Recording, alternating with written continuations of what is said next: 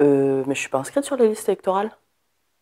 Pas de panique. À trois semaines des élections européennes, il est encore temps de voter. On vous explique tout. Le coup de pouce du bleu La procuration peut se faire jusqu'à la veille d'une élection. Cependant, il est préférable de faire les démarches le plus tôt possible afin qu'elles soient traitées dans les meilleurs délais. Pour effectuer votre demande de procuration, rendez-vous dans la gendarmerie ou le commissariat de votre commune.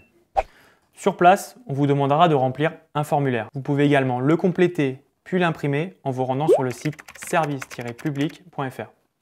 Pour le formulaire en ligne, les informations doivent être remplies à l'aide de l'ordinateur et non à la main.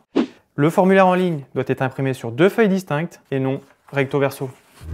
Pour enregistrer votre procuration, vous avez le choix de présenter le permis de conduire, la carte nationale d'identité ou le passeport.